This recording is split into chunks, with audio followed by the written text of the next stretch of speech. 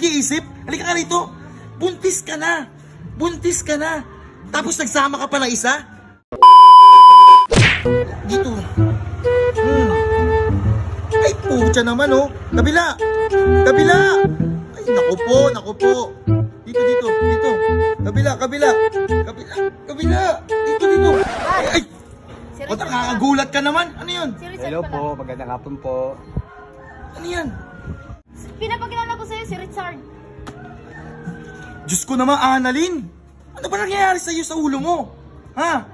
Ano ba nangyayari sa'yo? Pinaghiwalay ko na nga kayo ni XB dahil ginugulpi ka, binubugbog ka. Tapos nagsama ka pa niyan. Ina mo, para mo na tatay yan. At, tsaka di ka ba nag-iisip? Halika ka rito. Buntis ka na. Buntis ka na. Tapos nagsama ka pa ng isa? Ha? Anong gagawin mo dyan? Ha? Sino Hindi ka talaga nag-iisip, Annalyn. Alam mo, hindi mo ginagamit yung kokote mo. Sinabi ko na sa'yo na pinag-iwalay ko kayo ni XB dahil umiiyak sa akin, sinasaktan ka. Tapos bakit mukat-mukat mo, dalawang araw lang kinawala.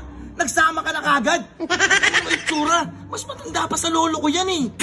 Wala ka na nga magulang, di ba? Ako na nagsisilbing magulang mo. Ako na tumatayo mo, hindi ka man lang tumayo sa sarili mong paa.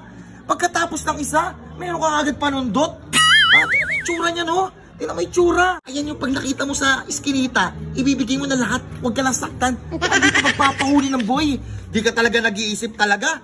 Hindi ko na talaga alam sa yung bata ka. Nag-aaral kasi kita. Ayan, nagpabuntis ka. Tapos yung nakabuntis pa sa'yo ng Google Pay. Tapos, pinaghiwalay ko na kayo. Dalawang araw lang. Ito pa pinalit mo. Ah, pag ginagawa mo sa buhay mo.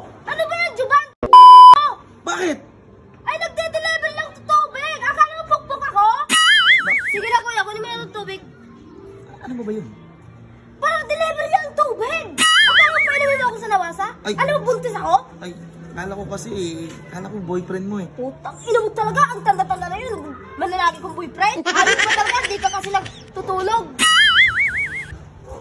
kala ko lang naman kasi. Ano sabi mo? Ano ko? Ako ng ng buhay. Bakit po? Bakit po? Tato, nagdi-deliver ng tubig. Ay, di kasi hindi ko naman po kasi alam, sir eh. Alamin niyo kasi. Opo. Ay, sorry po. Gusto niyo di ko kayo deliver ng tubig eh. Lagi ka ito ng kanal eh. Ay, pasensya na po ah. Hindi ko kayo deliver ng tubig. Gusto niyo kanal? Hindi naman po. Aray ko! Aray ko! Kala ko kasi...